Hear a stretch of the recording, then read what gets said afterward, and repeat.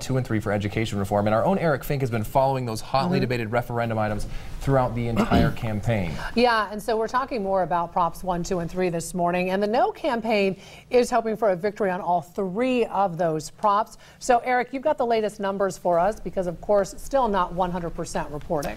No, not 100% reporting. Some uh, precincts in Ada County out, but the No campaign looks to be headed for a clean sweep. And here is a look at the results with a majority of the precincts reporting.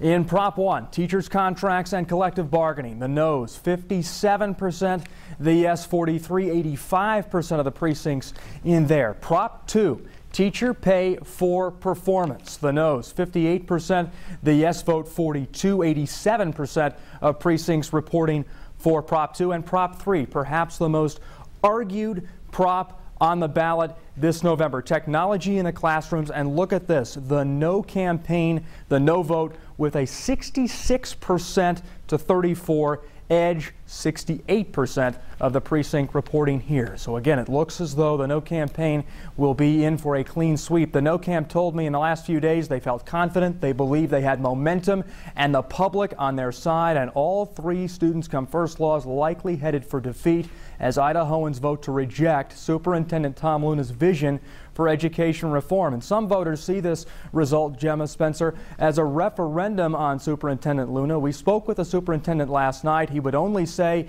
he's never been involved in a, pro a proposition campaign before and wouldn't comment on the results until all the votes are in and every precinct has reported. But again, all three props failing in large numbers this morning. And now the education debate continues here in Idaho. Both sides agreeing the conversation will pick up again when the legislature convenes again in January. Guys, let's send it back to you. All right. Thank you very much, Eric. Well, Jimmy Farris got decleated in his race for U.S. House of Representatives against incumbent Raul Labrador.